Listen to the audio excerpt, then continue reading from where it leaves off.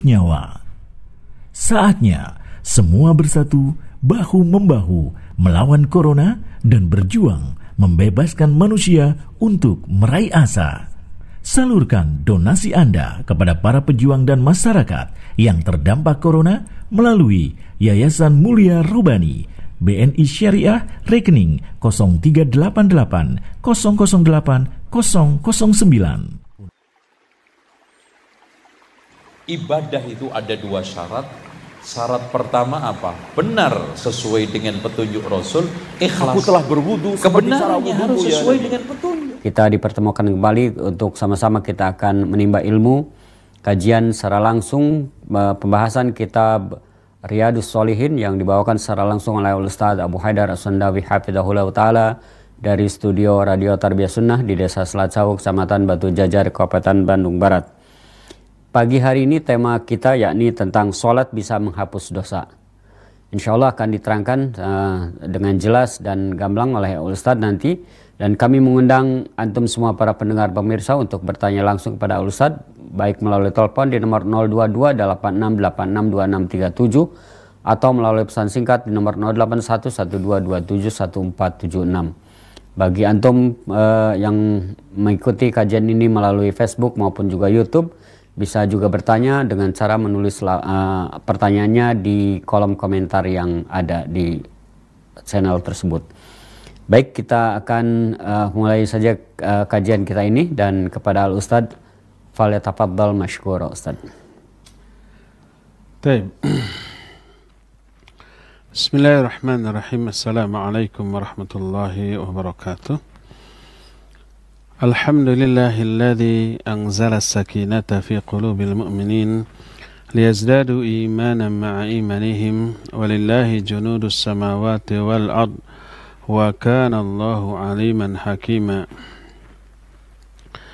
وأشهد أن لا إله إلا الله وحده لا شريك له إقرارا به وتوحيدا وأشهد أن محمدا عبده ورسوله sallallahu alaihi wa ala alihi wa ashabihi wa sallam tasliman mazida wa ba'd.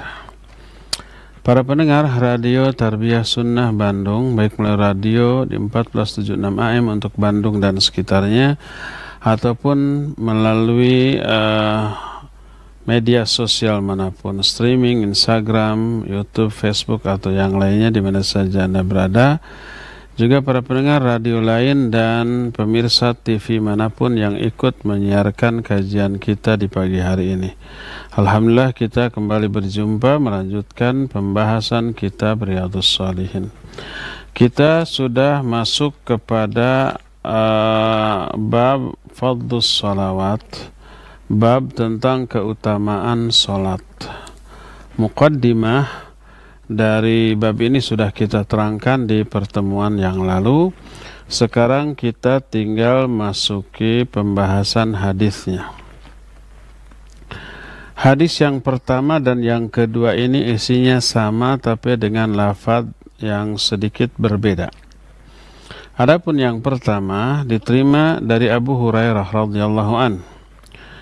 Dia berkata, "Sami'tu Rasulullah sallallahu alaihi wa alihi wasallam yaqulu ara'aytum law anna nahran bi babi ahadikum yaghtasilu minhu kulla yawmin khamsa marrat." Hal yabqa min darnihi syai'un? Qalu la yabqa min darnihi syai'un. Qal fadzalika mathalus salawatil khamas yamhullahu bihinnal khataya. Kata Rasul Shallallahu Alaihi Wasallam seandainya, bagaimana pendapat kalian? Seandainya di depan pintu kalian ini ada sungai yang besar, Lalu orang itu mandi setiap hari lima kali. Apakah masih tersisa sedikit kotoran di badannya? Lima kali loh.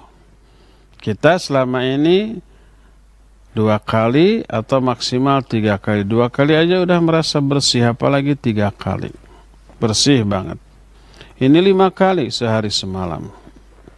Masih adakah kotoran yang tersisa? Dijawab tidak ada yang tersisa dari kotoran.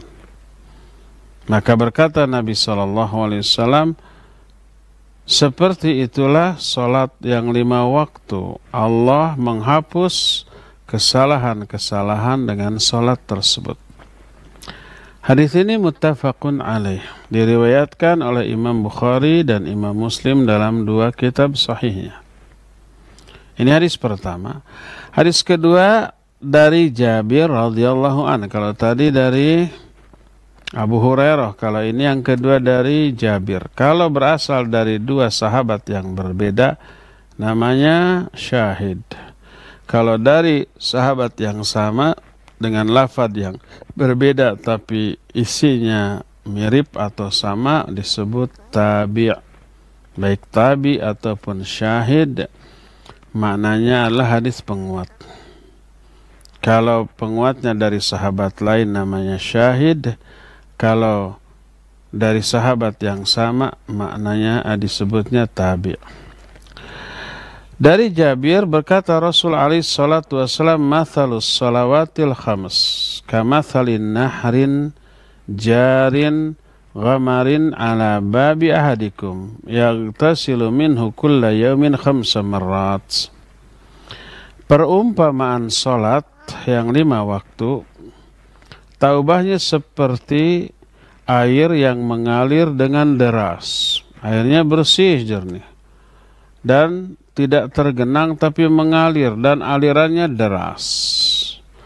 Yang lewat di pintu salah seorang di antara kalian lalu orang itu mandi lima kali sehari. Dalam dalam sehari semalam dia mandi lima kali. Nah ini menunjukkan bahwa orang yang melakukan sholat lima waktu dalam sehari semalam diumpamakan sebagai orang yang mandi lima kali sehari semalam membersihkan semua kotoran. Kalau mandi membersihkan kotoran-kotoran yang sifatnya zahir, yang sifatnya fisik, yang sifatnya real dan nyata. Tapi kalau sholat membersihkan aspek jiwa batin. Dari apa? Dari noda, dari dosa, dari kemaksiatan dan yang sejenisnya. Ya. Nah, inilah hadis yang menerangkan salah satu di antara fungsi sholat yaitu menghapus dosa-dosa yang telah lalu. Disebutkan yamhullahu bihinnal khataya.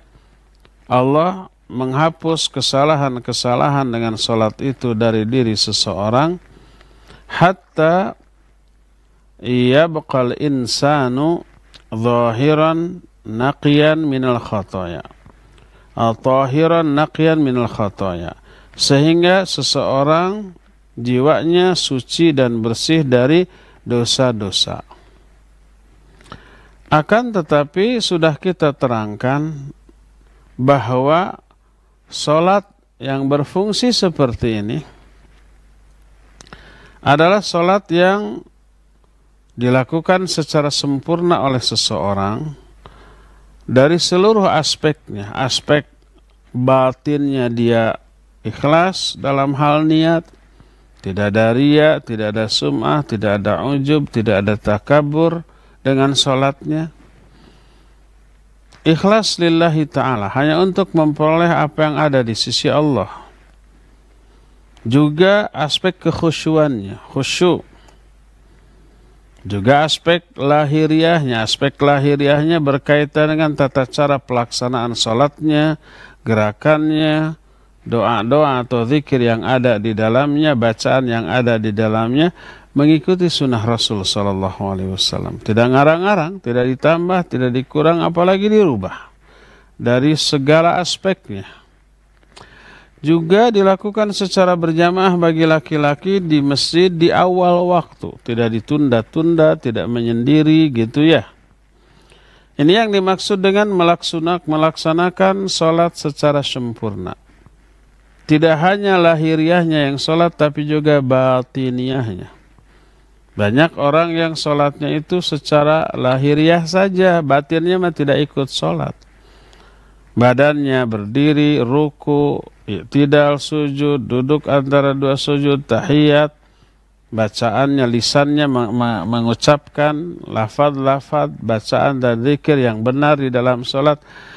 Itulah hiriahnya. Tapi batiniahnya gimana? Hatinya, pikirannya apa yang dilakukan? Tidak ikut sholat. Hatinya tidak ikut menghayati apa yang dibaca oleh lisannya dalam sholat tidak menghayati makna dari gerakan-gerakan yang dia lakukan dalam sholat. Fikirannya ingat ke urusan dunia. Ingat ke masa lalu, ingat ke apa yang akan dilaksanakan nanti seusai sholat. Ingat kepada kejadian, ingat ke hutang, ingat ke segala macam urusan dunia. Hatinya, fikirannya tidak ikut sholat. Kecuali sedikit saja. Itu kan umumnya orang. Maka bukan itu yang dikehendaki oleh Allah dengan sholat yang kita lakukan. Kita harus menyadari dalam sholat kita sedang bermunajat kepada Allah. Hati kita pun ikut hadir, ikut melakukan sholat, berupa menghayati apa yang dibaca oleh lisan kita di dalam sholat. Maka apabila sholatnya demikian sesuai dengan yang Allah kehendaki, barulah seluruh yang Allah janjikan untuk orang yang sholat akan Allah berikan. Salah satunya adalah dihapuskannya dosa-dosa. Adapun yang dimaksud dengan dihapuskannya dosa-dosa di sini adalah dosa-dosa kecil. Sebab di dalam hadis lain disebutkan seperti Hadis dari Abu Hurairah radhiyallahu an berkata Rasul alaihi salatu wasalam As-salawatul khams wal jum'ah ilal jum'ah kafaratun liman bainahunna man lam yughsil kabair. Salat yang lima waktu Jumat ke Jumat itu kifarat penghapus dosa yang dilakukan antara ibadah-ibadah tadi selama dia menjauhi dosa-dosa besar. Selama dia tidak melakukan dosa-dosa besar. Artinya yang terhapus adalah dosa-dosa kecil. Adapun dosa besar tidak. Contoh umpah dalam hal muamalah menipu. Ketika jual beli ada unsur tipuan baik oleh si penjual ataupun si pembeli. Si penjual biasanya berdusta berbohong tentang kualitas barang. Disebut super nih barang, padahal KW. Disebut grace, padahal second. Disebut harganya sekian, padahal kurang dari itu. Disebut ini mulus, padahal ada cacat. Agar segera laku dengan keuntungan yang besar, maka itu tipuan. Tipuan ini termasuk dosa besar dan oleh Nabi alaihissalam pelakunya tidak diakui sebagai umatnya. Sebagaimana sabda beliau, Man ghasya falaysa minna. Siapa yang melakukan tipu daya, maka dia itu bukan dari golongan kami.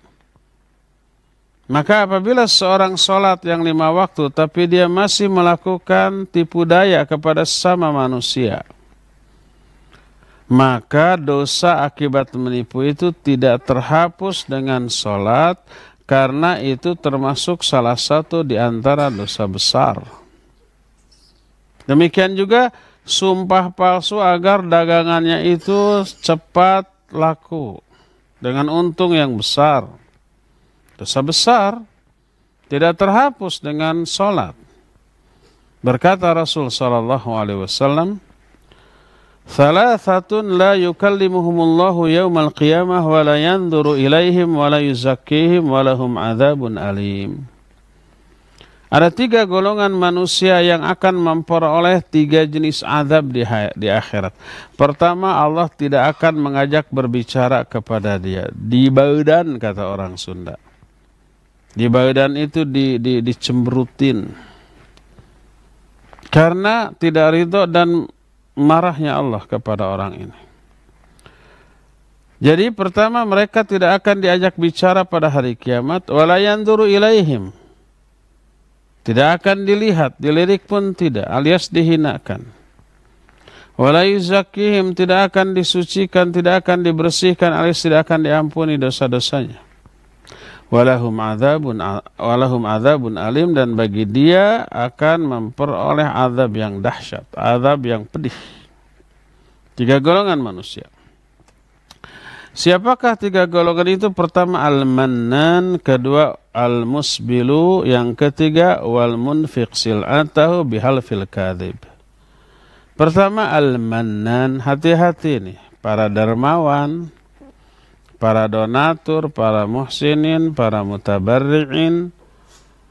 Jangan sampai terjerumus ke dalam golongan al-mannan.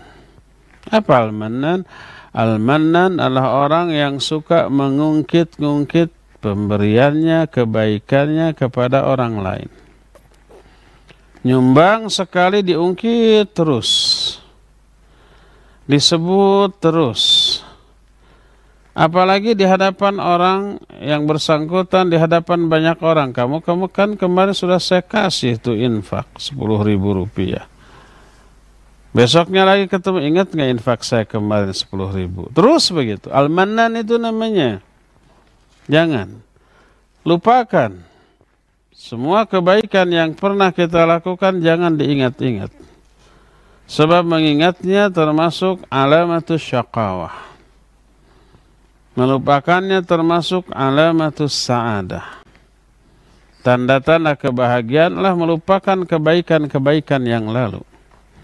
Tanda kebinasaan adalah mengingat-ingat kebaikan masa lalu. Seperti perkataan Imam Ibn Hajar. Rahimahullah. Alamatus sa'adah arba'ah Tanda-tanda kebahagiaan itu empat. Salah satunya adalah nisyanul hasanatil madiyah. Melupakan kebaikan-kebaikan masa lalu. Sebaliknya alamatus syakawah arba. Tanda kebinasaan ada empat. Salah satunya adalah zikrul hasanatil madiyah. Mengingat-ingat kebaikan masa lalu. Apalagi diungkit-ungkit. Mengungkitnya dosa besar disebut al-mannan Tiga golongan yang orang-orang ini di hari kiamat tidak akan diajak bicara oleh Allah, tidak akan dilihat, tidak akan dibersihkan dan akan diberikan azab yang sangat pedih. Salah satunya al-mannan. Kedua al-musbilu izarahu orang yang musbil izarnya untuk laki-laki. Musbil itu artinya memakai pakaian dari atas sampai melewati dua mata kaki. Baik pakaian yang diulurkan dari atas itu celana, celana panjang atau gamis atau sarung.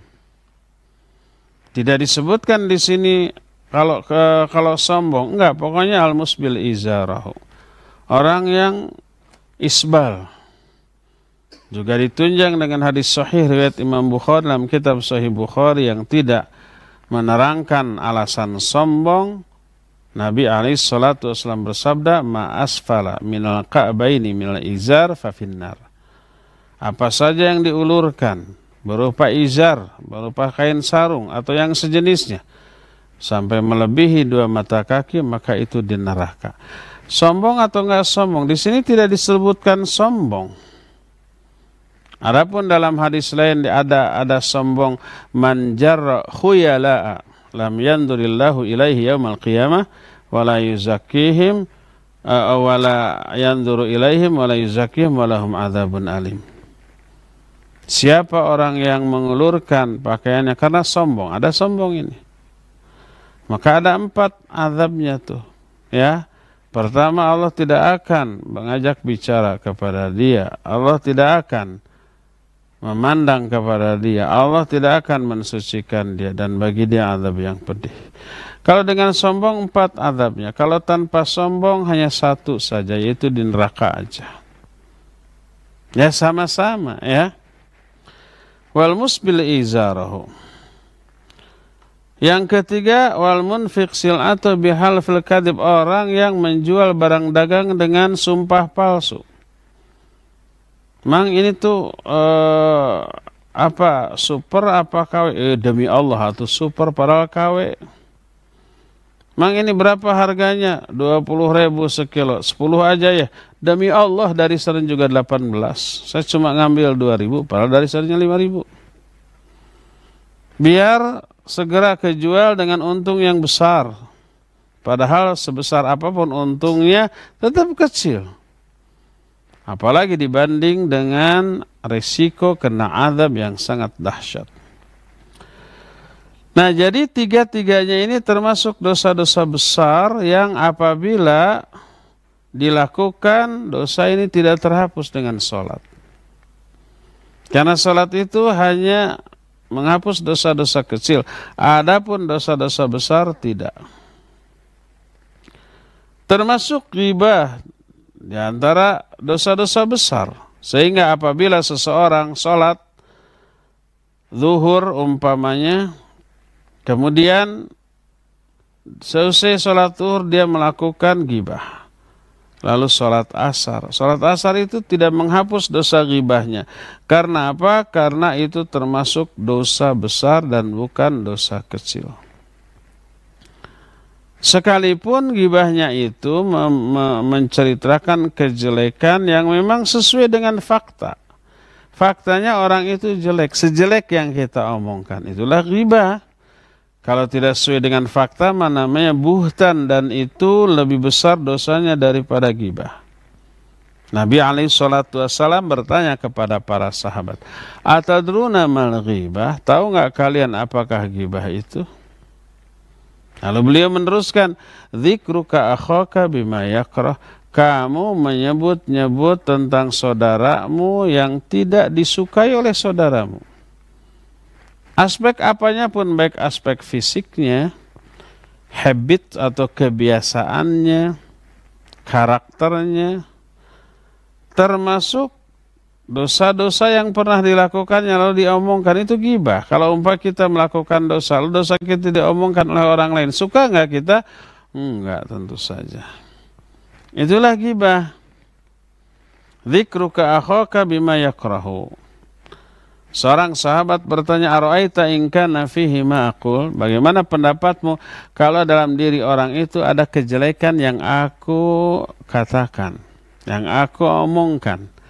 Memang kejelekan yang aku omongkan itu ada pada diri dia. Umpamanya dia ini secara fisik, umpamanya hitam. Secara fisik umpamanya pesek. Secara fisik umpamanya kembu.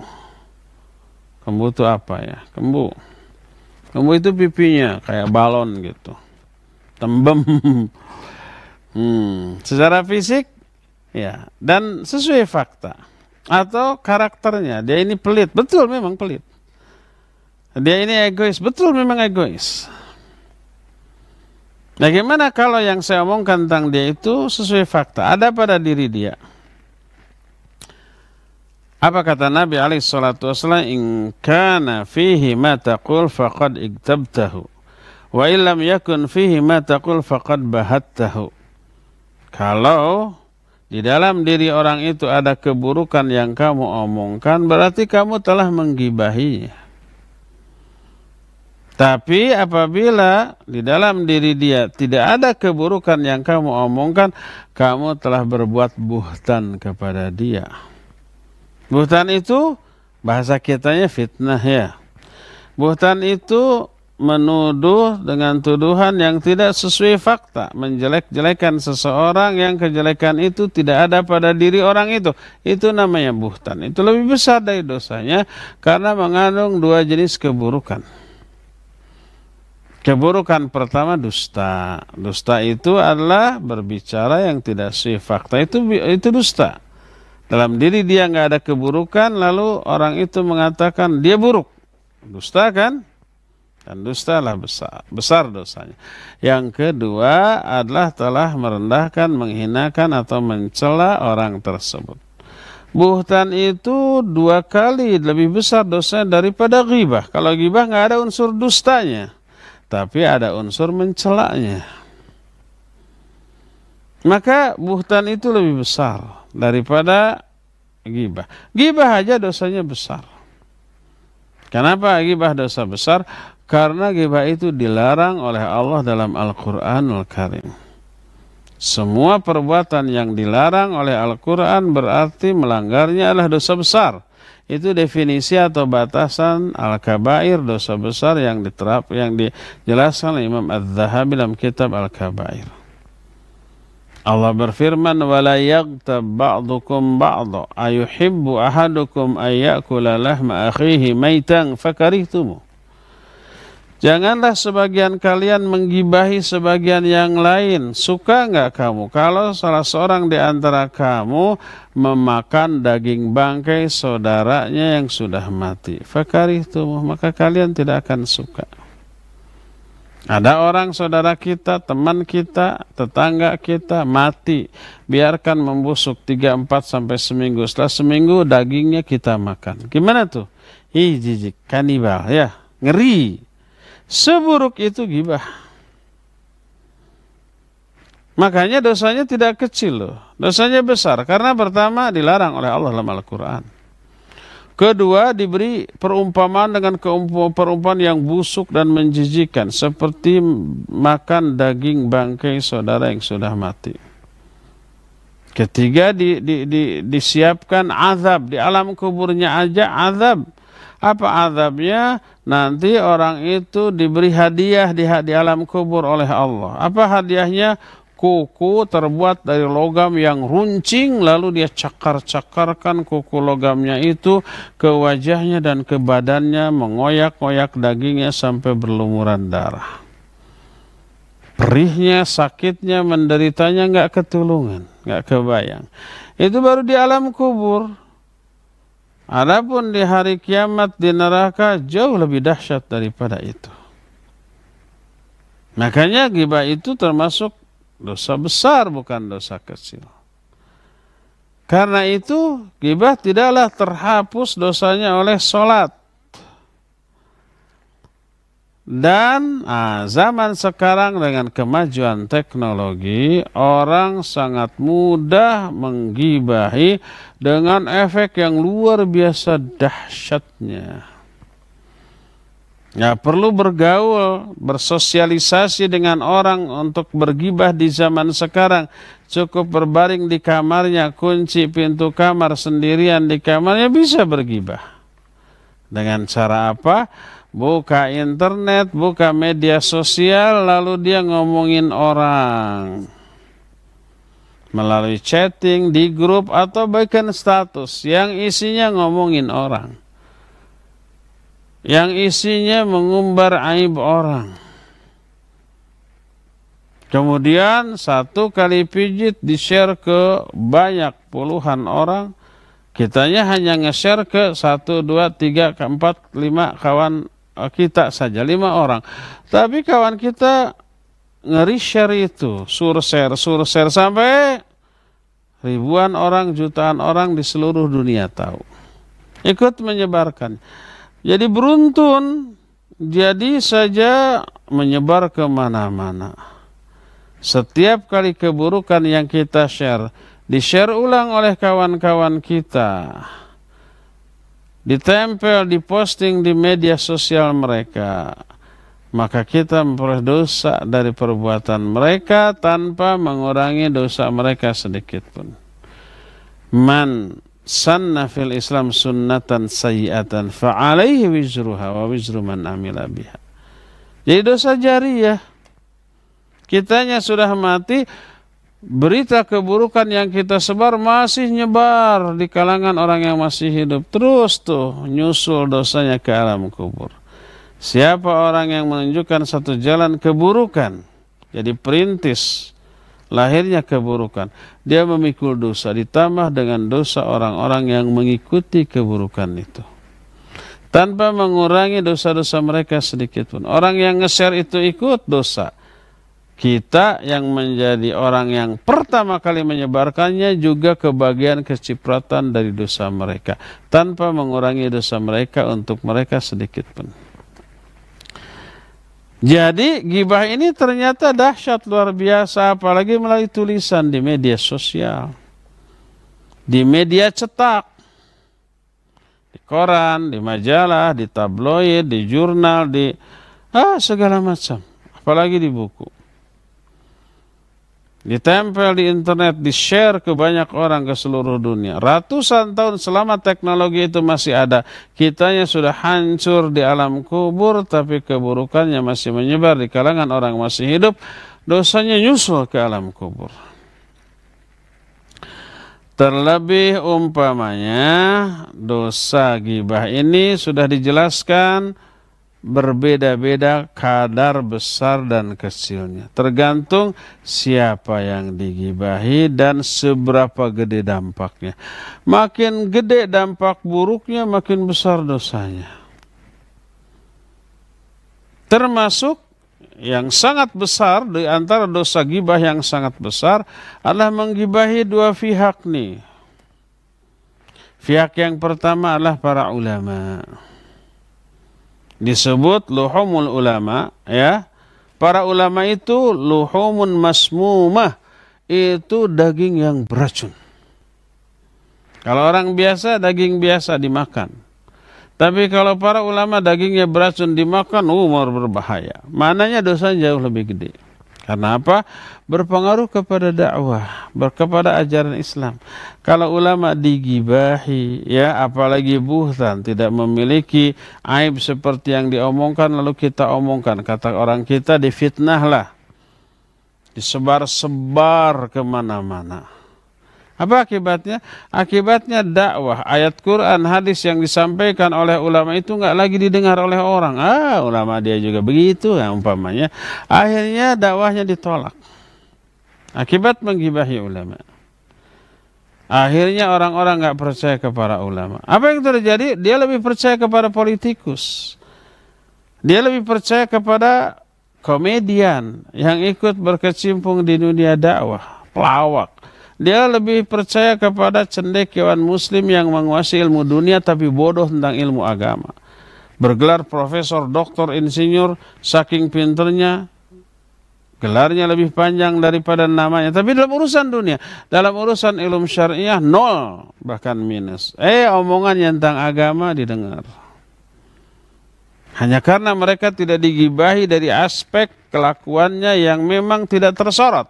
Tapi ulama sedikit saja ada kesalahan, oh seperti gunung meledak itu. Kehebohan yang ditimbulkannya akibat menggibahi mereka. Makanya dosanya lebih besar. Itu yang pertama. Kedua, ulil amri. Penguasa, pemerintah, digibahi namanya pemerintah orang ya pastilah banyak salahnya banyak kurangnya. Lalu kurangnya diekspos. Apa yang terjadi? Hilang kepercayaan rakyat kepada pemerintah. Tidak taat tidak ditaati. Tidak dituruti sekalipun dalam aspek yang baiknya maka kacau. Tak mustahil berujung bermuara kepada timbulnya pemberontakan impeachment dan yang sejenisnya Oh, tambah kacau. Waliyadzubillah. Maka itu termasuk dosa gibah yang lebih besar daripada menggibahi orang yang biasa. Nas'alullah salamah wal afiyah.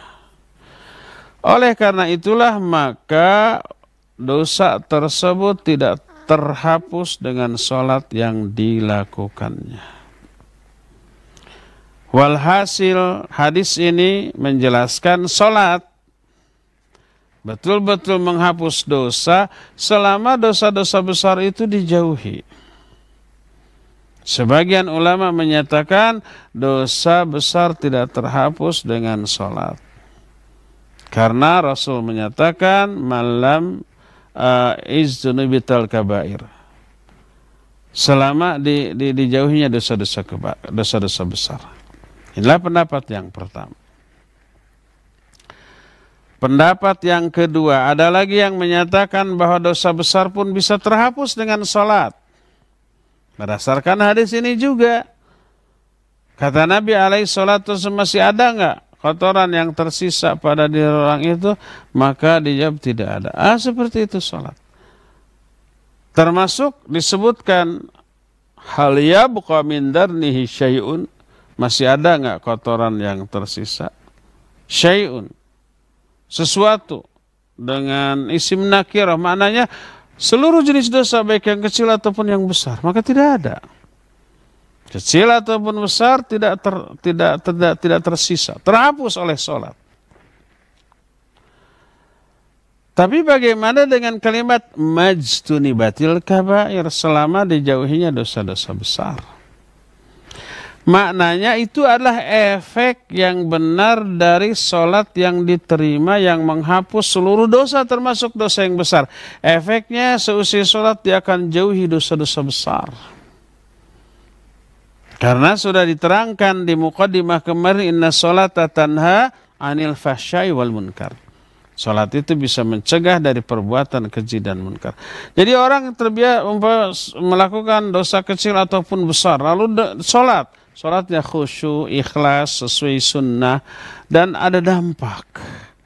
Maka salat itu menghapus dosa kecil dan besar. Efek dari salat yang diterima tersebut, dosa besar yang sebelumnya biasa dia lakukan, dia tinggalkan. Maka dosa kecil, dosa besar semuanya terhapus oleh sholat ini. Tapi kalau umpamanya orang melakukan dosa kecil dan dosa besar lalu dia sholat. Seusai sholat dia tetap melakukan dosa besar menunjukkan sholatnya nggak benar tuh. Karena sholat yang benar itu sholat yang tanha anil fasyai wal munkar mencegah dari perbuatan keji dan munkar. Maka dosa kecil, dosa besar yang dilakukan sebelumnya tetap tidak terampuni. Karena Nabi SAW mensyaratkan dihapuskannya dosa kecil dan dosa besar itu majtuni batil kabair selama dijauhinya dosa-dosa besar. Yang berpendapat seperti ini di antara Syekh Al-Albani rahmatullahi alaihi yang menerangkan bahwa hadis ini memiliki faidah bahwa sholat menghapus dosa kecil termasuk dosa besar asal sholatnya benar sehingga berakibat majtunibatil kabair dijauhinya dosa-dosa besar seusai sholat begitu tuh. Ditambah dengan ada hadis dari Amir bin Hisham radhiyallahu anhu dia berkata bahwa Rasul alaihi salatu wasallam bersabda, "Ma min muslimin yatawaddau fa ahsana wudu'ahu." Tidak ada seorang pun muslim yang berwudu lalu dia membaguskan wudunya. Thumma shalla rak'atain. Kemudian dia sholat dua rakaat. Dalam satu hadis disebutkan oleh Rasul sallallahu alaihi wa wasallam wa qalbahu lillah. Dia memfokuskan wajahnya kepada Allah, hatinya kepada Allah, khusyuk. Ya. Kemudian dalam riwayat lain fa'ahsana khusyu'ahu wa ruku'ahu wa sujudahu. Dia membaguskan kehusuannya, rukunya, sujudnya maka akan diampuni seluruh dosanya sekalipun dosanya itu sebanyak buih di lautan. Termasuk dosa-dosa besar. Itu salat apa? Itu salat sunnah yang ghair muakkadah. Tidak ada seorang pun muslim yang berwudu lalu menyempurnakan wudunya lalu salat dua rakaat. Salat apa? Salat syukur wudu. Sunnah apa wajib? Salat sunnah. Syukur luhur itu sunnah. Muakkadah atau ghair muakkadah? Muakkad itu ditekankan enggak? Tidak, tidak ditekankan. Yang muakkad itu salat fardu, eh salat uh, rawati, qabla atau bada itu muakkadah. Salat tahiyatul masjid menurut sebagian ulama itu muakkadah, menurut sebagian yang lain wajib. Salat tahajud itu sunnah muakkadah. Adapun syukur wudhu tidak muakkadah tidak ditekankan. Ghair muakkadah. Tapi orang yang berwudu menyempurnakan wudunya lalu sholat dua rakaat dan lam yuhaddits fi nafsihi syai. Dia tidak terbersit sedikit pun dari urusan dunia dalam hatinya selama sholatnya. Bayangkan. Khusyuk, ikhlas kepada Allah dalam sholatnya itu. Dua rakaat, sholat sunnah ghair muakkadah maka illa kafarallahu biha khatayahu kecuali Allah akan hapuskan seluruh dosa-dosanya walaupun sebesar sebanyak buih di lautan. termasuk dosa-dosa besar. Dalam riwayat lain diriwayatkan oleh Imam, Imam Muslim wajabat lahul jannah wajib bagi dia surga. Tuh. Itu salat sunnah ghair muakkadah. Salat sunnah, tahya uh, syukur wudu, tapi ghair muakkadah tapi ya khusyuk ya ikhlas. Itu menghapus semua dosa walaupun sebanyak buih di lautan. Berdasarkan hal itulah maka sholat yang benar dari segala aspeknya, aspek batinnya ya ikhlas ya khusyuk. Aspek lahirnya ya sesuai dengan sunnah ya di awal waktu ya berjamaah bersama imam di masjid bagi laki-laki. Itu semua akan menghapus dosa kecil termasuk dosa besar dan berefek dijauhinya dosa-dosa besar seusai itu. Dari sinilah kita mengetahui bahwa ya sholat menghapus dosa kecil ataupun dosa besar yang sholatnya tanha anil fahsyai wal munkar. Mencegah dia dari perbuatan keji dan munkar. Adapun sholat yang fardu yang lima waktu tapi dilakukan asal-asalan. Tidak khusyuk alias sambil melamun. Tidak sesuai sunnah ditambah, dikurang atau dirubah tata caranya ataupun bacaan-bacaannya dilakukan asal-asalan tidak berjamaah di masjid bersama imam ditunda-tunda dari waktunya ada unsur ria dan yang sejenisnya Ketika sholatnya melamun tentang urusan dunia, sholat yang seperti ini tidak akan menghapus apa-apa dosa kecil ataupun dosa besar dan tidak merubah karakter buruk dia menjadi baik. Enggak, tetap saja seusai sholat dia melakukan fasya dan mungkar sebagaimana biasa. Dari sinilah kita mengetahui bahwa yang dimaksud sholat bisa menghapus dosa adalah sholat yang memenuhi persyaratan yang Allah tetapkan baik aspek lahirnya ataupun aspek batinnya. Itu sholat yang pertama, niatnya ikhlas karena Allah. Kedua, ada kekhusyuan di dalamnya. Ya. Ketiga, dilakukan sesuai sunnah Nabi alaihi salatu. Ketika empatnya dilakukan di awal waktu berjamaah dengan imam di masjid untuk laki-laki, ya. Itu yang keempatnya, eh keempat apa kelimanya? Ya kesekian lah, ya. Dan yang ke terakhirnya sholat itu berdampak perubahan akhlak, tingkah laku. Meninggalkan semua yang buruk, melakukan semua yang baik yang bermanfaat bagi diri dan umat manusia ya. Inilah penjelasan dari hadis ini. Kita belum sempat membahas faidah dari hadis ini. Insyaallah faidahnya akan kita terangkan di hari Ahad yang akan datang. Untuk sekarang cukup sampai di sini dan kita masih punya sisa waktu untuk bertanya jawab wassalamualaikum ala nabiyina Muhammadin wa ala alihi wa wasallam mangga uh, tadi yang sangat bermanfaat bagi kita semua. Uh, insya Allah bermanfaat bagi kita yang mendengarkan dan juga mengikuti kajiannya. Ya iman azanullah wa yakum. Uh, kami sekarang buka sesi tanya jawab. Bagi antum yang akan bertanya kami persilakan bisa melalui telepon di nomor 022 8686 2637 atau melalui pesan singkat di nomor 081 1227 1476. Baik sudah ada penelpon yang masuk kita angkat. Halo. Silakan Pak, Ibu. Eh. Ustaz, saya mau bertanya. Pak Mas Mulyono. Siap, Pak Mulyono. Pertanyaan saya, sholat menghapus dosa. Nah, bagaimana kita sholat ikut berjamaah contohnya, tapi imamnya cara sholatnya seperti kilat.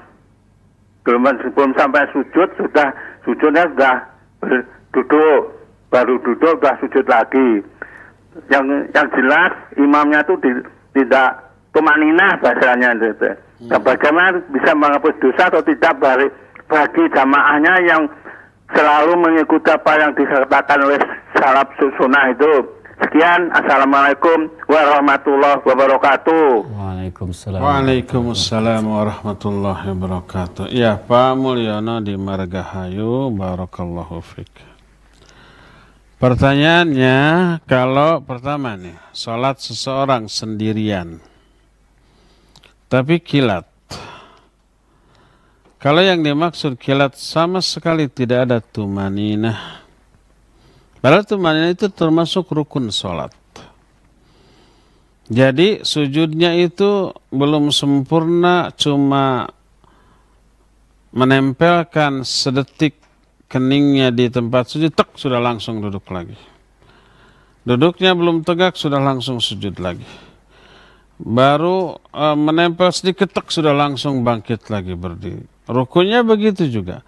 Rukunya baru nungging sedikit sudah itidal. Itidalnya belum tegak uh, sama sekali sudah sujud lagi. Maka tidak ada tumaninah maka tidak sah sholatnya.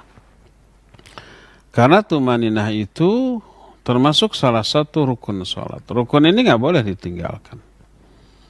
Seperti umpamanya kita mengetahui ada satu komunitas saudara-saudara kita yang melakukan tarawih 23 rakaat hanya dalam 7 menit. Kelihatan di video itu nggak baca apa-apa, kemudian nggak ada tumaninah maka tidak sah. Kalau imamnya seperti itu kita nggak boleh bermakmum di belakangnya. Kalau dia sholatnya tidak sah untuk dirinya maka tidak sah juga keimamannya. Adapun kalau ada tumanina, walaupun beberapa detik, dua tiga detik tumanina, tapi kemudian cepat, gitu ya, cepat uh, uh, berpindah ke gerakan lain. Kemudian bacaannya kilat, sebenar bil langsung. Yang wajibnya memang satu kali, dua, ketiga dan seterusnya sunnah. Dia hanya mengejar yang wajib, sebenar bil ala langsung, duduk Rabik Firli saja. Dan memang yang wajibnya Rabik Firli. Selebih dari Rabik Firli ketika duduk di antara dua sujud adalah sunnah. Langsung dia sujud lagi. Dan ada tumanina satu dua detik. Maka sah. Karena ada tumaninahnya walaupun tidak begitu lama. Walaupun bacaannya hanya mengambil yang wajib. Rabik Firli langsung. Subhanallah langsung. Ya. Al-Fatihahnya satu nafas. Ah, apalagi suratnya umpama Yasin langsung ruku. Dalam rukunya ada tumanina satu dua detik. Subhana rabbil azim langsung bangkit. Sami Allahu liman hamidah rabbana walakal hamdu langsung uh, dia tegak uh, sujud lagi. Sah. Maka boleh dia uh, kalau ke, kalau sholat untuk dirinya sah berarti sah juga keimaman dia dan kita boleh bermakmum di belakang. Tapi mafdul. Mafdul itu tidak afdol. Maka apa yang harus kita lakukan lebih baik musyawarahkan ganti imam. Kalau nggak memungkinkan itu imamnya itu orang tua, orang sepuh, lambat, ini apa gerakannya. Tapi khusus dalam sholat mah cepat gitu ya. Ada yang begitu nggak bisa di, di, di, di apa namanya di diganti diganti ngamuk. Abah Udah kita ganti aja dengan yang muda. Wah langsung. Goloknya langsung keluar. Siapa yang berani umpamanya? Ada yang begitu? Mungkin ada. Tidak bisa diganti itu. Imam lebih baik cari masjid lain yang tidak seperti itu. Ya. Tapi kalau nggak ada masjid lain atau ada tapi lebih madarat, maka silakan ber, uh, berjamaah dengan imam itu. Uh, selama imam tadi masih melakukan tumaninah walaupun tetap cepat dari yang semestinya ya. Demikian Pak Mulyono wallahu alam bisawab silakan lagi. Naam syukran Ustaz atas jawabannya. Kita kembali mengangkat pertanyaan melalui telepon. Halo Assalamualaikum Waalaikumsalam warahmatullahi wabarakatuh dari siapa di mana Bapak dengan Bapak Ridho di Ciwastrat silakan Pak Ridho Assalamualaikum warahmatullahi wabarakatuh Ustaz. Waalaikumsalam warahmatullahi wabarakatuh. Ya. Uh, Afwan Anda mau bertanya Ustaz. Ya. Uh, biasa anak kalau misalkan setelah beres sholat fardu, biasa kan uh, kita berzikir, dimulai dari istighfar dulu gitu dan seterusnya. Nah di masa pandemi ini, anak biasanya setelah beres sholat fardu itu, setelah itu istighfar sampai ke Allahumma ini ala uh, zikrika wa syukrika wa husni ibadatik. Nah, istighfar uh, apa? Zikir subhanallah alhamdulillah dan Allahu akbar kembali berjalan gitu. Ya, di keluar masjid karena uh, apa? menghindari berlama-lama di masjid Itu bagaimana hukumnya Ustaz? Sekian pertanyaannya. Jazakallah khairan. Assalamualaikum warahmatullahi wabarakatuh. Waalaikumsalam. Waalaikumsalam warahmatullahi wabarakatuh. Wa Jazakallahu khairan. Bapak Ridho di Sumatera. Ciwastra. Oh, Ciwastra. Di Ciwastra ya. Ya, di musim pandemi kalau ada masjid yang mengadakan sholat berjamaah dengan protokoler yang yang yang ketat, ada social distancing gitu dan itu dasarkan kepada fatwa para ulama hampir setiap negeri. Didasarkan pada pemahaman keilmuan mereka tentang Al-Quran dan As-Sunnah. Istihad, ya. Tidak berarti hasil ijtihad para ulama bertentangan dengan hadis Nabi sehingga dibenturkan. Mau ikut hadis Nabi, mau ikut para ulama, nggak perlu begitu, nggak berbenturan kok, ya. Itu ijtihad dan ijtihad adalah haknya para mujtahid. Adapun ustadz bukanlah mujtahid. Ikutilah perkataan dan ijtihad para ulama. Ada social distancing dalam sholat? Ya boleh. Di masa pandemi. Terus dianjurkan para imam tidak membaca surat-surat yang panjang di dalam sholatnya. Yang pendek saja. Karena ada uzur.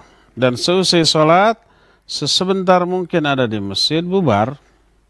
Sholat sunatnya di rumah baik qabla ataupun ba'da. Hanya sholat fardu untuk memenuhi apa kewajiban sholat berjamaah dalam sholat fardu. Bagaimana dengan zikirnya? Ya zikir termasuk yang sunnah. Yang sunnah ini afdol kita baca sambil duduk pada sholat di tempat kita sholat. Kalau tidak ada uzur. Tapi karena ada uzur seperti kita umpamanya kebelat ingin ke WC atau ada tamu atau ada keperluan lain termasuk karena ada pandemi untuk menghindari terpaparnya kita oleh virus uh, COVID-19 ini. Lalu kita tidak berlama-lama sampai Allahumma antas salam minkas salam tabarak tayadal jalal ikram maka lalu kita berdiri dan melanjutkan zikirnya sambil jalan menuju rumah dan dilanjutkan di rumah. Boleh nggak? Boleh karena ada uzur. Dan itu aplikasi dari hadis Nabi alaihi salatu wassalam firra minal mazdum firaraka minal asad. Larilah kamu dari wabah, dari orang yang terkena wabah. Seperti kamu lari dari singa mengaplikasikan hadis itu maka wirid pun kita pindah ke rumah. Kita bekal di jalan. Ketika sampai rumah masih belum selesai, kita selesaikan dulu. Lalu berdoa di rumah. Lalu setelah itu baru sholat ba'da, sholat rawatib. Boleh? Boleh. Tidak apa-apa. Karena ada uzur. Ya. Walaupun tidak ada uzur dibolehkan begitu tapi mafdul. Mafdul itu tidak afdol.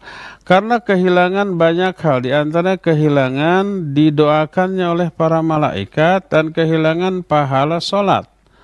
Karena Nabi SAW menyatakan siapa orang yang sholat lalu dia tetap duduk di tempat sholatnya sambil berzikir karena fi sholat. Maka dia dianggap di dalam sholat. Wal malaikatu yusalluna alaihi dan para malaikat itu bersolawat kepada dia. Ya. Apa namanya? E, selama dia duduk dan selama dia belum hadas. Jadi kalau dalam situasi normal tetap duduk. Zikir, wirid ya sampai berdoa sampai selesai. Maka selama itu didoakan oleh para malaikat dan pahalanya sama dengan pahala sholat.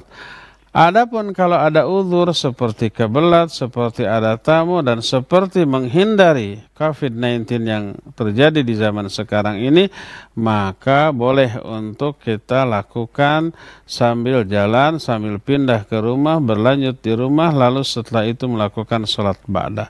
Maka pahala yang Allah berikan kepada orang itu tetap diberikan.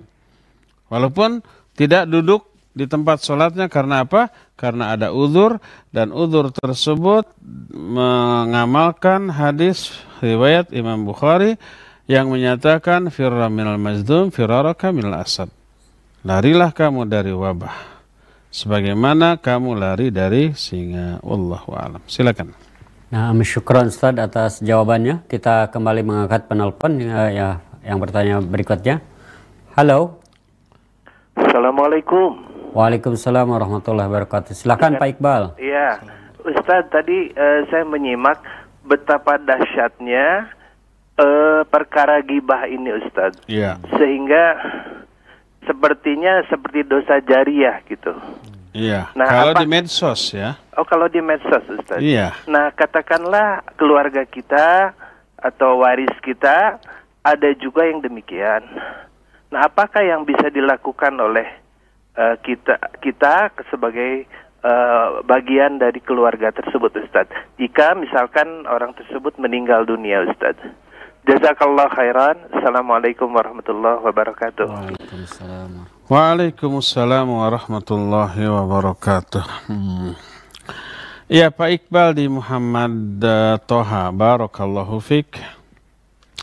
Tadi disebutkan gibah itu bisa menjadi dosa jariah. Maknanya adalah kalau kita menjadi perintis dari gibahan itu, kemudian isi gibahan itu menjamar ke mana-mana. Seperti umpamanya kita umpamanya menulis di media sosial kita menceritakan si fulan saya pergoki si fulan lagi melakukan kemungkaran apalagi ada videonya sebagai bukti ada fotonya. Nih tak ditempel sebar jutaan orang jadi tahu. Padahal itu aib kan? Ya maka gibah. Maka setiap kali orang kemudian membicarakan ini kita kebagian dosanya. Orang nge-share ini kita kecipratan dosa. Kitanya mati, itunya masih menyebar di kalangan orang yang hidup, dosanya menyusul ke alam kubur. Yang kemudian disebut dengan dosa jariah. Iya. Adapun kalau secara lisan umpah, kita tidak menulis, hanya bilang ke orang saya tadi di jalan, Ketemu si Anu, saya lihat dia itu sedang melakukan sebuah kemungkaran besar. Sudah, ya. Orang itu tidak menyebarkan kembali ke yang lain, maka itu tidak menjadi dosa jariah. Hanya sekali saja kita dosanya. Nah sekarang katakanlah orang tersebut melakukan dosa gibah dengan dosa jariah di medsos umpamanya. Kemudian dia meninggal. Kita ahli warisnya, umpah orang tua kita, kakak kita, atau siapa pun yang ada hubungan kekerabatan dengan kita. Apa yang harus kita lakukan? Kita hapus postingan dia di media sosial. Ya, kemudian kita nasihati kepada siapa pun mohon untuk tidak menyebarkan lagi. Maka dengan hilangnya dampak dari kegibah, dari gibahnya, maka hilang dosa jariahnya karena tidak menyebar lagi. Menyebar itu uh, masih mengalirnya dosa jariah selama itu masih menyebar. Kalau sudah tidak menyebar ya berarti sudah berhenti. Semaksimal mungkin kita cut, kita potong, kita putus untuk tidak disebar lagi, ya. Kemudian kita tempel biawara bahwa si fulan ini ayah saya, ibu saya atau saudara saya Uh, saya bertanggung jawab atas semua yang telah dilakukannya, maka mohon kepada kawan, kepada uh, followers, kepada siapa untuk tidak kembali menyebarkan postingan ini. Siapa yang masih menyebarkan, maka kami berlepas diri dan tidak bertanggung jawab. Diumumkan saja. Diusahakan menghentikan peredaran dari gibahan tadi, ya. Nah, untuk selanjutnya kita sebagai ahli waris tetaplah mendoakan dia, memintakan ampunan, memintakan rahmat, ya. Boleh umpamanya kita hajikan, kita umrohkan, kita kurbankan. Maksudnya yang dikurbankannya kambing tapi atas nama dia. Kita juga boleh berinfak dan bersedekah atas nama dia. Karena kita anaknya, kita ahli warisnya. Dan ahli waris atau anaknya ini insya Allah memiliki pengaruh besar kepada nasib orang tua yang sudah meninggal tergantung amal dan kesolehan yang kita lakukan sebagai anaknya ya. Demikian Pak Iqbal, wallahu alam bisawab. Silakan lagi. Nah, syukran Ustaz atas jawabannya. Kita beralih terlebih dahulu ke pesan singkat yang ada. Ada pertanyaan dari Abu Hanan di Baros Cimahi. Bismillah. Assalamualaikum Ustaz. Ustaz, apakah batasannya suatu dosa bisa tergolong dosa besar atau dosa kecil? Apakah bisa diketahui dengan mudah? Barakallahu fiqh. Iya. Abu Hanan di Baros Simahi Barakallahu Fik. Imam Adzah dalam kitab Al-Kabair menjelaskan batasan dari dosa besar. Dosa-dosa besar adalah dosa yang pertama melanggar ayat. Baik meninggalkan kewajiban yang diterangkan oleh ayat, yang diperintahkan oleh ayat, ataupun melanggar apa yang dilarang oleh ayat. Seperti tadi, ya, la yaskhar kaum min qaumin asa yakunu khairan minhum wala nisa'u min nisa' wala talmizu anfusakum wala tanabazu bil alqab ya. Ijtanibu katsiran min adh-dhann inna ba'dha dhann ism wala wala yaghtab ba'dukum ba'd. Itu dilarang oleh Al-Qur'an. Jangan mencela jangan menghina jangan memberi gelar-gelar uh, dengan gelar-gelar yang buruk. Jangan suudzon jangan gibah jangan tajassus mencari-cari kesalahan orang lain. Itu larangan. Kalau itu dilanggar itulah dosa besar.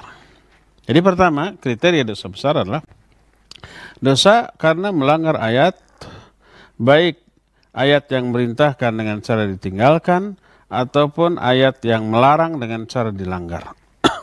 Kedua, eh, dosa-dosa yang diancam oleh azab, baik dalam ayat maupun dalam hadis yang sahih. Baik azabnya di alam kubur ataupun azabnya di neraka nanti. Itu juga termasuk di antara dosa-dosa besar, ya. Terus yang ketiga, dosa yang diakibatkan karena melanggar hadis.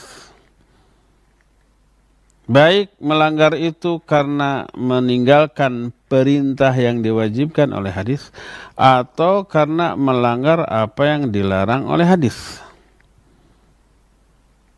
Itu yang ke yang ke berapa? Yang ketiganya, ya. Nah, terus yang keempatnya adalah dosa-dosa kesalahan-kesalahan yang mengakibatkan tercabutnya hidayah dari diri orang itu atau disesatkannya orang tersebut dari kebenaran. Contohnya apa? Contohnya banyak. Salah satunya adalah berbicara yang buruk, apa pun yang buruk tersebut. Allah berfirman, "Wa qulu qawlan sadida." Yuslih lakum a'malakum wa yaghfir lakum dhunubakum. Kata Allah, ucapkan oleh kalian ucapan-ucapan yang baik, maka Allah akan memberi hidayah kepada kalian. Allah akan mensolehkan amal-amal kalian, artinya Allah akan memberikan hidayah agar kalian bisa beramal soleh. Mafhum mukhalafah dari ayat ini, siapa yang berucap dengan ucapan yang buruk maka dicabut hidayah dari dirinya. Contoh ucapan yang buruk itu dusta. Nabi SAW dalam hadis sahih riwayat Bukhari dan Muslim menyatakan, Iyakum wal kadhiba fa innal kadhiba yahdi ilal fujur. Jauhi oleh kalian dusta karena dusta menyeret pelakunya kepada fujur. Fujur ini tercabutnya hidayah dari diri orang itu. Fujur itu artinya meninggalkan ketaatan yang sebelumnya dilakukan karena berdusta jadi berhenti dia dari ketaatan. Tercabut hidayah ketaatan dari diri orang itu atau terjerumusnya orang kepada dosa yang selama ini tidak pernah dilakukan. Karena berdusta jadi berani melakukan dosa itu. Dicabut hidayah dari diri orang itu. Maka itu dosa besar. Ya. Jadi itulah beberapa batasan dari dosa besar. Adapun selain yang diterangkan maka termasuk dari dosa kecil. Wallahu a'lam. Nah, syukron Ustaz atas jawabannya. Kita kembali mengangkat penelpon yang masuk. Halo. Halo. Assalamualaikum warahmatullahi Silakan Bu. Dari Ibu siapa di mana Bu? Dari Ibu Irma di Padalarang. Silakan, Silakan. Bu Irma. Nah, ini Ustadz, uh, tadi kan kata Ustadz, kalau habis kita sholat wajib, kita tetap dalam keadaan duduk, kita zikir, kita berdoa, hmm. uh, malaikat akan bersalawat untuk kita. Terus uh, bagaimana ini Ustadz kalau misalkan kita dalam keadaan duduk kan, uh, misalkan lama kita zikir, kita berdoa, terus kaki kita ini pegel, misalkan posisi kita bersila atau selonjoran gitu Ustadz, uh, gimana itu Ustadz? Iya. Terima kasih Ustaz. Assalamualaikum. Waalaikumsalam warahmatullahi wabarakatuh. Iya. Tidak dilarang merubah posisi, posisi duduk ketika berzikir, ya. Yang tadinya bersila kemudian menjadi emok. Saya nggak tahu emok bahasa Indonesia apa. Emok itu seperti duduk eh, duduk tawarruk atau duduk iftirash atau bersila atau selonjor.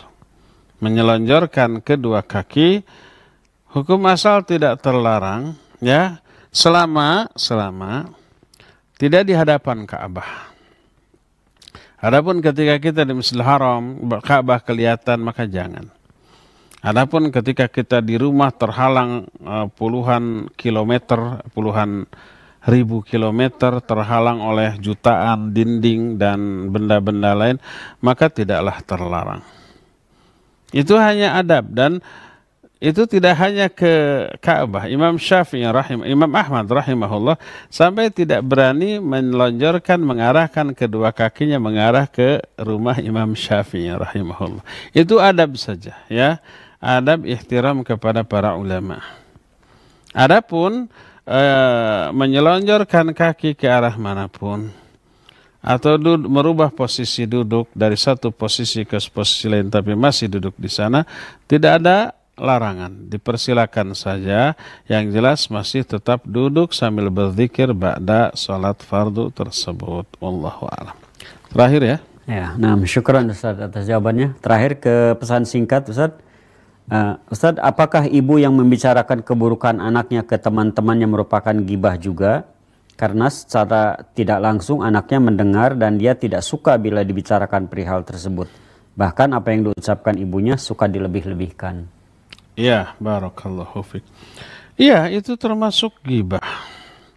Siapa pun yang kita bicarakan, murid kita, anak kita, adik kita, pembantu kita, bawahan kita, keburukan-keburukannya kita beritahukan kepada orang lain ya sama. Itu gibah. Pertanyaannya, boleh enggak? Bolehkah seorang guru menggibahi muridnya? Boleh enggak seorang uh, ayah atau ibu menggibahi uh, anaknya? Bolehkah seorang bos menggibahi uh, karyawannya, bawahannya? Tergantung maksud dan tujuan dari gibah tersebut. Kalau itu murni gibah tidak ada tujuan apa-apa, sekedar menyebarkan aib anaknya, sekedar kepuasan diri. Kalau umpah diungkapkan itu puas gitu, plong maka itu dosa, dosa besar walaupun itu anaknya. Walaupun itu adalah muridnya, walaupun itu adalah bawahannya, karyawannya. Sama dengan menggibahi orang lain. Adapun kalau maksud tujuan dari gibah itu adalah agar orang yang kita ceritain ini bisa merubah karakter buruk anaknya. Maka ini boleh. Umpamanya kita sebagai orang tua nih tidak bisa untuk menasihati anaknya karena kita sendiri tidak menjadi uswah. Tidak menjadi contoh bagi anaknya. Lalu anaknya ini punya guru yang ditaati didengar ucapannya. Lalu kita cerita kepada guru dari anak kita. Anak saya ini gini, gini, gini. Tolong nasihati kalau saya yang menasihati nggak mempan. Tapi kalau Anda sebagai gurunya ditaati, maka menggibahi seperti ini boleh. Karena apa? Karena dalam rangka mengislahkan atau memperbaiki keburukan akhlak dari anak kita. Ya, jadi ada gibah yang diperbolehkan. Pertama gibah dalam rangka istifta. Istifta itu meminta fatwa. Seperti Hindun datang kepada Nabi Alaihissalam, ya Rasulullah, sesungguhnya suami saya Abu Sofyan orangnya pelit. Gibah bukan? Ya gibah. Boleh nggak saya mengambil uang dia tanpa persetujuan, tanpa sepengetahuan dia? Oleh Nabi SAW dijawab, boleh. Tapi Nabi tidak me, me, menyalahkan, eh kamu menggibahi suami. Enggak, karena tahu itu dalam rangka istifta menanyakan hukum tentang sebuah perbuatan yang untuk menjelaskannya harus menggibahi orang lain. Boleh. Atau gibah kepada orang yang bisa memperbaiki keburukan orang yang digibahi. Boleh seperti orang itu ada nyebelinnya luar biasa. Kalau kita menasihatinya wah ribut. Akhirnya kita minta tolong ke gurunya. Itu orang nyebelin. Tolong nasihati.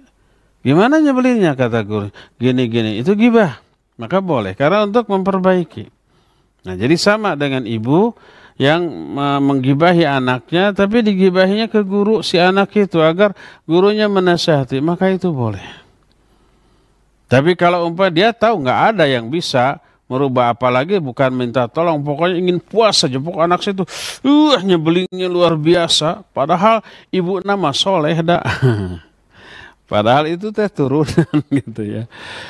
Hanya untuk melampiaskan perasaan maka itu gibah dan tetap dosa besar walaupun yang digibahinya anaknya sendiri ya jadi tetap gibah tapi apa dosa atau tidaknya tergantung niat tadi ya tujuan dari gibah tersebut. Ya cukup ya sampai di sini waktunya sudah habis. Insya Allah kita akan jumpa kembali di hari Ahad yang akan datang. Subhanakallahum bihamdik asyhadu an la ilaha illa anta astaghfiruka wa atubu ilaik walhamdulillah rabbil alamin wassalamualaikum warahmatullahi wabarakatuh. Waalaikumsalam warahmatullahi wabarakatuh. Syukran jazakallahu khairan. Kami haturkan kepada Al-Ustaz Abu Haidar As-Sandawi Hafidahullah Ta'ala atas ilmu yang telah disampaikan di kesempatan pagi hari ini yang sangat bermanfaat bagi kita semua. Dan yang telah berkenan menjawab pertanyaan-pertanyaan baik melalui pesan singkat maupun juga melalui telepon secara langsung dan mudah uh, semoga Allah taala selalu memberikan perlindungan bagi Ustadz dan memberikan kesehatannya sehingga di kesempatan yang lain Ustadz kembali bisa menyampaikan ilmu yang sangat berfaedah bagi kita semua. demikianlah kami bisa aturkan.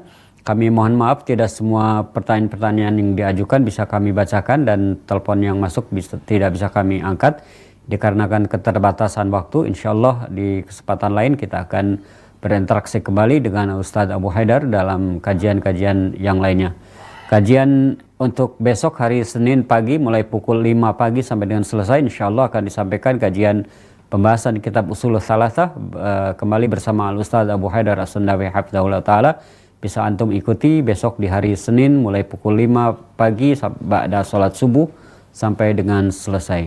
Kami uh, undang antum untuk mengikuti kajiannya dan berinteraksi insya Allah dengan Al Ustaz mengenai uh, pembahasan kitab usul salasah besok kita tutup dengan doa kafaratul majlis. Subhanakallah bihamdika asyhadu an la ilaha illa anta astaghfiruka wa atubu ilaik. Wassalamualaikum warahmatullahi wabarakatuh.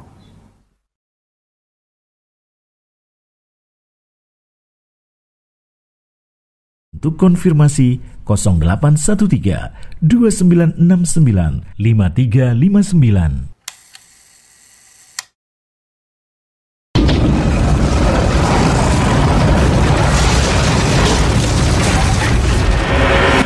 Bisnis lebih prospek dan menguntungkan. Toko mesin Maxindo telah membantu mengembangkan bisnis di seluruh Indonesia selama lebih dari 10 tahun. Dengan menghadirkan mesin-mesin penunjang industri yang berkualitas, mesin Maxindo telah teruji digunakan oleh ribuan pengusaha di seluruh Indonesia dengan aneka macam jenis mesin yang dapat disesuaikan pada kebutuhan usaha menggunakan teknologi termutakhir dan didukung oleh layanan after sales service di lebih dari 15 cabang yang tersebar di seluruh Nusantara.